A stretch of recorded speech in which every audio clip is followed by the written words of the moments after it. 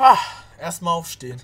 Und damit Juli Tischewald, damit hallo herzlich willkommen zu einer neuen Folge von Minecraft Last. Und es ist echt sehr, sehr, sehr, sehr, sehr viel passiert, Leute. Um das ein bisschen zusammenzufassen, packe ich jetzt mal hier einen kleinen Ausschnitt aus dem Stream von vorgestern rein. Ja, ich habe noch, ich habe noch mehr als genug, also das passt schon. Deswegen baue ich gleich ab. Nein! Otto hat geschrieben, baue ich gleich ab. Okay, wir verschwinden von hier. Scheiße! Scheiße! Das war keine gezielte Sprengung! Ich hab damit, ich hab, ich hab damit nichts zu tun! Ich hab damit nichts zu tun! Verschlafe, ich verschwinde jetzt von hier. Du hast, du hast nichts gesehen und nichts gehört. Oh mein Gott, Du hast nichts gesehen und nichts gehört. Ja, Leute, ich habe mich entschieden mit der Gemeinde zusammen, dass wir uns gegen das Imperium, gegen das Dorf stellen. Und zwar wollte ich damit einfach nichts mehr zu tun haben. Deswegen habe ich eine Bombe hinterlassen und musste natürlich die Flucht ergreifen, denn sonst wäre ich umgebracht worden. Und natürlich habe ich hier jetzt im Prinzip mir einen neuen Ort gesucht, der ganz schön ist und auch natürlich sehr sicher, denn ich werde hier oben mein Haus bauen, hier ungefähr so auf dem Berg, ich bin mir ja noch nicht sicher. Und dort unten und hier dort herum, um dieses um dieses kleine Tal hier dort herum sind überall Berge. Dort werden die anderen Mitglieder der Gemeinde bauen und dort in der Mitte wird wahrscheinlich unser Beratungszimmer oder beziehungsweise unser Schlachtplanraum etc. sein. Warum ich diesen Ort gewählt habe, ist ganz einfach. Passt auf, denn zum Ende werden wir hier unten wahrscheinlich eine Festung errichten und dort sind wir halt einfach extrem geschützt, wenn ihr euch das mal aus militärischer Sicht anschaut. Sind wir natürlich hier, dort sind wir natürlich dort unten von diesen ganzen Bergen geschützt. Das heißt, dass uns keiner ruckartig überraschen kann. Sie können höchstens hier die Berge hochklettern und dann könnten sie natürlich unsere Häuser einnehmen. Aber die werden ja nicht wichtig sein, denn unsere Hauptfestung wird dort unten sein mit unseren Wertgegenständen. Aber das wird alles noch seine Zeit brauchen. Denn wir müssen hier erstmal anfangen. Die nächsten Folgen werde ich auch damit verbringen, erstmal die ganzen neuen Mitglieder oder beziehungsweise die Mitglieder der Gemeinde in das neue Dorf zu bringen. Anfangs geplant war eigentlich hier vorne, aber das Dorf steht natürlich dort viel zu offen, weil halt dort nur eine kleine Fläche ist. Und falls ihr wirklich einen Krieg, falls er ausbricht. Ich will noch nichts ankündigen. Ich will hier auch äh, mich noch auf niemanden draufstürzen. Sind wir halt natürlich hier unten auf der sicheren Seite. Dadurch halt, dass wir durch die Berge geschützt sind und uns dadurch natürlich keiner so richtig beobachten kann. Oder besser gesagt, uns keiner überrennen kann. Denn selbst wenn uns halt natürlich, wenn jemand uns angreift, leben wir natürlich auch alle auf den Bergen. Sprich, jeder hat da sein Haus, wir reden miteinander, können die Leute schon mal von hier oben aus mit dem Pfeilen abschießen, Mauern bauen, sonstige Sachen, um sie abzuschwächen. Und dann natürlich, selbst wenn wir es nicht schaffen sollten, sie aufzuhalten, können wir uns dann immer noch in die Festung nach, nach dort unten verziehen und dort drin aufhalten praktisch. Und wenn sie uns dann natürlich angreifen, können wir natürlich dort immer noch mit Vorräten eine Belagerung ausharren. Aber fange erstmal klein an, bevor ich hier schon die Schlachtpläne mache. Und zwar habe ich hier schon eine kleine Karottenfarm, ne? Eine kleine, aber feine Farm, weil ich habe gemerkt, Essen ist nicht ganz, ganz, ganz, ganz, ganz, ganz so einfach zu bekommen. Deswegen habe ich mir gedacht, ich mache mir hier schon mal eine kleine Farm. Natürlich ist es jetzt nicht mega viel Essen, aber sie reicht aus. Ihr fragt euch bestimmt, warum ich hier so hässliches Kobbel da habe. Ja, es gibt hässliche Dinge im Leben, dagegen kann man nichts machen. Spaß. Und zwar ist es so, dass ich hier in so einem Eisbiom bin, so zur Hälfte. Oder ja, in einem Schneebiom. Und da ist so, dass das Eis einfach einfriert. Das heißt, dass ich da rüber, dass das Schnee hier halt nicht reinkommt und in Kontakt damit geht, dass es einfriert, muss ich hier ein Steg oder sowas darüber bauen, dass der Schnee da nicht durchkommt. Und dann packen wir hier mal alles rein, Leute. Also ich finde, sieht hier schon alles, ist hier ganz schnieke die Position, also es hat nicht lange gedauert, sie zu finden, also ich bin im Stream eigentlich nur wehrlos irgendwo hingerannt und habe diese Position hier gefunden und fand sie direkt perfekt. Hier haben wir ein wenig Zuckerrohr, was wir zum späteren Zeitpunkt natürlich viel größer und weitreichender anbauen müssen, aber hier ist es halt natürlich oben noch ein bisschen schwierig. Das werde ich dann wahrscheinlich unten natürlich im Dorf oder Tal im Prinzip da machen. Da werden wir natürlich die ganzen Bäume hier abholzen, damit wir hier freie Fläche da haben. Aber das können wir mal natürlich mal in den Livestream machen oder auch in der Folge, je nachdem, was und wann wir das machen, Leute. Ich sehe gerade, wir haben schon fünf Minuten vertrödelt mit nichts tun und einfach nur damit erklärt, dass ich euch hier ein bisschen meine Strategie erkläre. Und zwar, Leute, kann ich euch hier ein bisschen was drumherum erzählen. Und zwar sind wir praktisch in eine... Lol, ich habe gerade gedacht, ich habe hier Kopfhörer, aber ich habe gar keine Kopfhörer. Und zwar sind wir in eine Art kalten Krieg gerutscht, natürlich die Gemeinde gegen den Rest. Da ich natürlich im Prinzip, indem ich ein, gegen eins der Oberhäupter natürlich der, der Stadt, würde ich sagen, geschossen habe, nachdem sie eine Nachricht reingeschrieben hatten in Discord und zwar, dass sie die Stadt einnehmen wollten, muss ich natürlich direkt die Gelegenheit ergreifen und mich wehren, hab die Bombe gezündet und bin dann geflüchtet. Taktischer Rückzug nennt man sowas. Und ja, nachdem praktisch Fluffix die Stadt eingenommen hatte, und ich, ich, ich, wollte mir nicht ihm unterwerfen, Leute. Die Gemeinde unterwirft sich niemanden. Musste ich flüchten, Leute.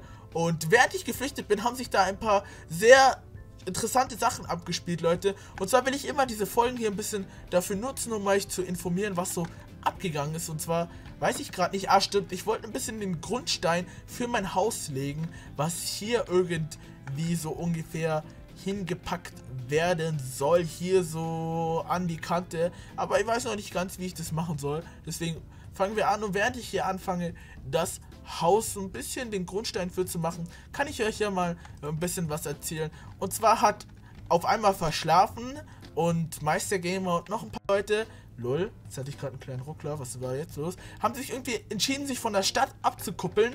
Ich habe ihnen angeboten, zur Gemeinde zu kommen und hier können sie ihr hier können sie, ich weiß nicht, was auch immer machen.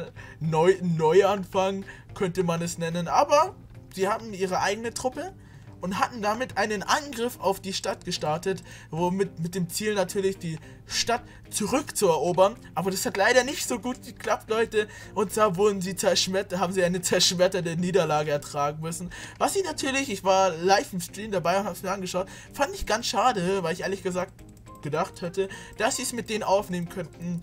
Aber die Burg von Aichi etc. war zu stark, um dort durchzudringen. Sie, haben, sie hatten sehr gut sehr gut die Mauern und alles genutzt und hatten sie abgeschüttelt. War, war richtig nice zum Gucken. Wenn die Streams noch online sind, packe ich euch die mal in die Videobeschreibung, dann könnt ihr das anschauen.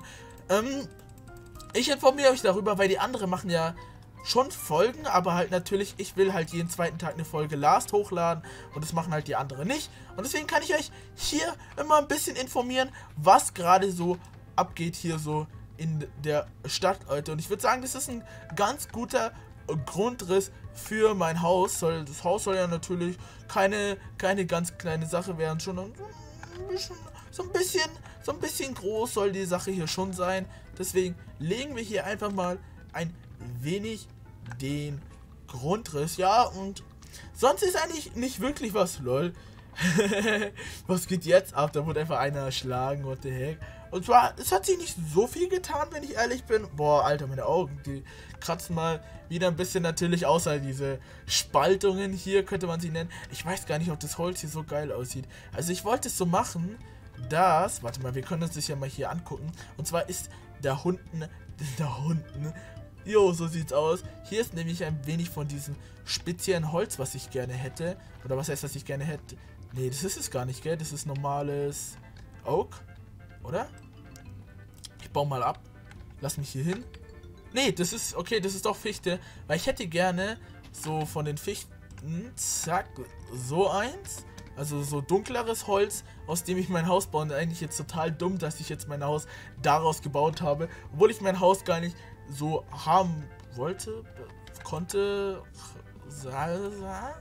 So, okay, ähm, wo ist es, wo ist, wo? Mann, wo ist denn? Ach, da ist das Holz. Oh, hier Eichenstamm. Bam, bam, bam, bam, bam. Pass auf. Und, also ich weiß halt nicht. Ich glaube, das würde kombiniert ganz gut aussehen. Also gar kein, ich habe jetzt, ja, ich denke schon. Also Leute, wer nicht wagt, der nicht gewinnt. Deswegen würde ich mal sagen, dass wir das ausprobieren. Dass ich hier so ein Mischmasch natürlich an den Rändern hier mit ein wenig davon. Okay, dann könnte ich das hier mal abbauen. Ich brauche das Holz hier sowieso nicht so krass. Es war jetzt, war jetzt natürlich ein bisschen Zeitverschwendung. Deswegen dachte ich mir, Leute, wir könnten immer diese Folgen hier, also diese Last-Folgen, könnten wir hier mal ein bisschen nutzen, um miteinander ein bisschen ganz entspannt zu talken, Leute. wie zum Beispiel über, keine Ahnung, Formate, Projekte oder sonstiges, was so ansteht. Das heißt im Prinzip, wer bei mir so auf dem Laufenden bleiben will, der schaltet einfach bei Last ein, weil dort machen wir einfach ganz entspannt was und reden nebenbei. Dann könnt ihr das euch irgendwie reinziehen, während ihr, keine Ahnung, was esst oder sowas. Kein Plan. Ich denke, meine Achse ist gerade kaputt gegangen, oder? Zack und boom und bang. Nice. Yep. Zack. Und ich habe gesehen, die erste Folge Lars ist bei euch ganz gut angekommen. Aber der Stream ist sogar noch besser angekommen. Finde ich, find ich, ganz, find ich ganz gut. Deswegen, Leute, Last wird auch bei mir, ich habe es, glaube ich, habe ich es vorhin angeteasert. Ich weiß nicht, ich habe so halb angeteasert.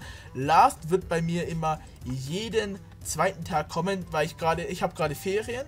Das heißt, ich schaffe es jeden Tag ein Video zu machen. Das heißt, am einen Tag Last, an anderem Tag irgendwas Skywars, Bad Wars oder irgendein, irgendein geschnittenes Comedy-Video so. Und dann halt einfach im Prinzip Last Skywars, ich sage immer Skywars, als wäre ich ein Skywars-YouTuber. Last Comedy oder besser gesagt Last krass geschnittenes Video, Last krass geschnittenes Video. So wechselt sich das in den nächsten äh, 10 Tagen. Ich glaube, ich habe noch 10 Tage Ferien, keine Ahnung. Und bis dahin wird es so sein, dass ich jeden zweiten Tag praktisch wieder ein Video hochlade. Das heißt, an den einen Tag kommt Last, dann habt ihr drei, Tag, drei Tage Pause, bis die nächste Folge Last kommt. Also im Prinzip Last, ein Tag frei, dann Video, ein Tag frei, Last. Versteht ihr, was ich meine? So ungefähr von dem Prinzip. Aber dann wird es halt auch natürlich zu dem Zeitpunkt mehr Streams geben. Ist ja klar, ne? So, deswegen. Ich weiß, es hat gerade einfach null reingepasst, aber ich wollte es einfach mal sagen. so. Alright. Also ich würde mal sagen, ich, ich weiß nicht, wie ich das hier anordnen soll. Das ist sehr belastend. Hier würde ich eins hinmachen. Wir können natürlich jetzt nur so einen Grundstein legen, weil halt ich noch nicht genug Ressourcen habe und die Ressourcen müsste ich erstmal noch farmen. So, da muss ich jetzt leider mal... Leute, wir nehmen mal hier die Erde, um abzumessen. Habe ich hier noch irgendwo... Hier, wir können hier die Erde mal so als eine Art Gerüst, Gerüst nehmen, um mal zu gucken, wie das in der Art aussehen muss. Wir können mal nachzählen. 1, 2, 3, 4, 5, 6, 7, 8, 9, 10. 10? 11, 12, 13, 14, 15. Ja, 15 und dann im Prinzip kommt hier so einzeln. Und dann würde ich einfach mal sagen, ja, ich denke mal, oder? 1, 2, 3, 4, 5, 6, 7, 8, 9, 10, 11, 12, 13, 14, 15, 16. Dann würde ich mal sagen, wir machen so ein 16 mal 16 Ding. Also im Prinzip 1, 2, 3, 4, 5, 6, 7, 8. Also ja, 8 plus das hier, das heißt 9, 10, 11, 12, 13, 14, 15, 16. Und dann hier von hier 1, 2, lol, 2, also 1, 2, 3, 4, 5, 6, 7, 8, 9, 10, 11, 12, 13, 14, 15, 16. Seht ihr, dann passt es. Also im Prinzip ist dann der 16. der... okay, ich habe irgendwie, irgendwie hatte ich gerade diese vage Vermutung, dass das jetzt mein Ende sein könnte. Oh, wir sind schon bei 13 Minuten. Also länger als 15 Minuten würde ich es ungern halten. Deswegen würde ich sagen, dass wir dann noch das Gerüst zu Ende machen. Ihr könnt ja mal in die, Beschrei in die Beschreibung, in die Kommentare schreiben, ob die Folgen 15, so 15 Minuten sein sollen, 20 Minuten. Ich weiß es nicht genau. Kein Plan, wie ihr das haben wollt. Oder ob ich, oder, oder, oder wie ich die Aufgabe, also wie ich meine Arbeit so verteile, ob ich richtig viel im Stream machen soll und euch in der Folge immer nur so spannende Sachen zeigen, wie wenn es Krieg gibt oder wenn es irgendwelche coolen Sachen, irgendwelche speziellen Events, wenn ich mit irgendjemandem aufnehme oder sonstiges gibt. Natürlich wie wenn ich halt die Gemeinde oder besser gesagt die neue Gemeinde einweihe. Ich hatte gerade für einen kurzen Moment Angst, dass ich runterfalle, aber ich falle gar nicht runter. Ist das nur eine Physik oder doch nur der Trick einer Physik? So, also ich weiß nicht, ob 16 mal 16 zu klein ist, aber ich denke mal, das geht ganz fit. Ich will auch kein Riesenhaus haben. Ist ja verständlich, denke ich mal.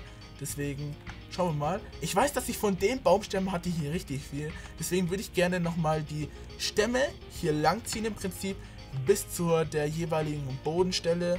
Also hier im Prinzip zack und dann wumms, wumms und dann wumms. So, Siehst ihr, seht ihr das? Also dann im Prinzip hier bis zum Boden die Stelze und dann hier bis zum Boden die Stelze hier durchziehen. Also ich denke mal, ihr ver versteht, wie ich das weile meine, dass es so einigermaßen realistisch aussieht, dass die Häuser hier so ein bisschen gestützt werden.